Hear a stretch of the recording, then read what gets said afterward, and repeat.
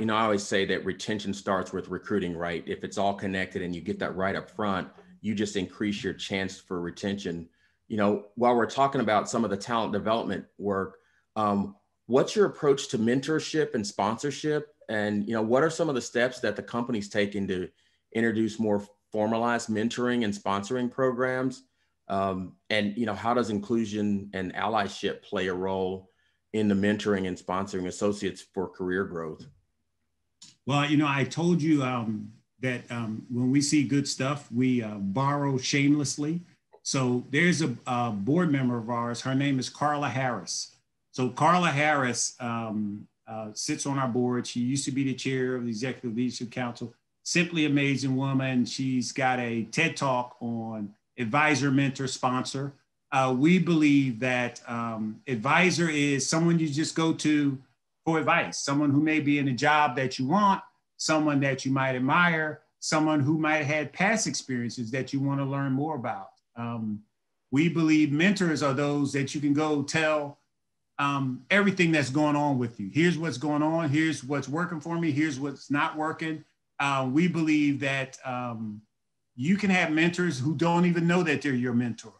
Um, I, I, believe personally that you don't go ask someone, who can, will you be my mentor and can I meet with you on the second Tuesday of the third month every three weeks? Because nine times out of 10, people are going to say, no, I don't have time for that.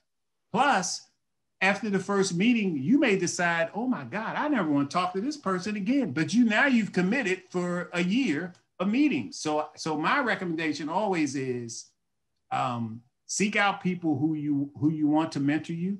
You don't actually have to ask them to be your mentor. You can ask for 15 or 20 minutes for them to tell you about their background, their career. Here's the thing about many executives. There's been research that said um, a, a larger number of senior executives are introverts than extroverts. And that as nervous as you are about going in, meeting with a mentor who might be two or three levels above you, and how am I going to spend 30 minutes with this person? They're just as nervous as you are. And, but they can all talk about themselves for 30 minutes. So get a set of questions that get them talking about themselves. And then what is it that you want to do? What is it that you want them to remember about you?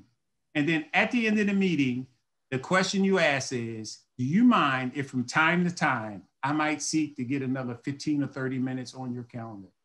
Most people will say yes to that. But if you ask for a meeting every second Tuesday, the third month of the full moon, every time they're going to say no because I'm busy. I don't have time. Plus, I already have men- mentors. You can eventually develop mentors like that. Sponsors is a different story.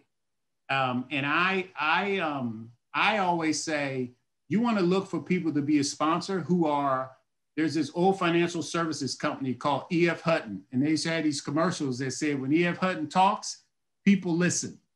So you want to identify in your org structure who's EF Hutton who is it that when they talk, people listen? And, and it isn't always your boss or even your boss's boss. It might be one of their peers.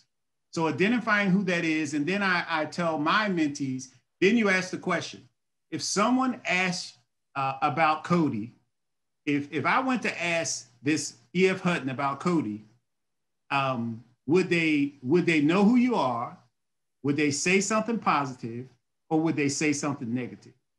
And what you want is to have relationships with E.F. Hutton that would say something positive about you.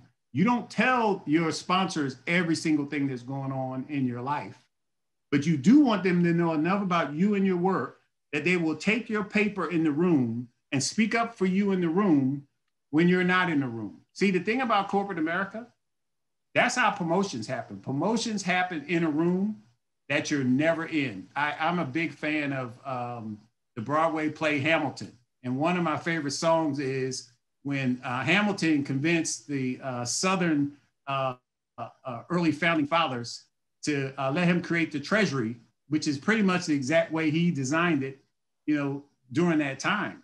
And the way he convinced them was he said, hey, we'll move the capital to the DC area um, from where it was at the time if you let me implement the uh, uh, uh, uh, the treasury the way I want. And so the song went something like, "I want to be in the room when it happens." Um, no one was in the room when it happens. Promotions happen in the room when you're not there, and you need someone speaking up in that room for you uh, in a way that gets you the opportunities that you might not otherwise get. And that only happens through the relationships you've created. Um, and it takes time. Sponsors take time. Um, we ask all of our officers to mentor and sponsor, um, but we don't do assigned sponsorship because we actually don't think that works. Uh, we, act, we do have a, a tool we have internally that does blind matching for people who are interested in mentees or mentors but but uh, some people this is natural. They know how to go do this on their own. Others need help. So we've developed an internal tool where people can go in and either ask for mentors um, or mentees, and we'll do blind matching. Um, you can send an email back and forth to each other and set your meeting up um, um through that tool. Yeah, that sounds like it really levels the playing field and makes it, the the knowledge accessible to anybody who who who's genuinely interested in it.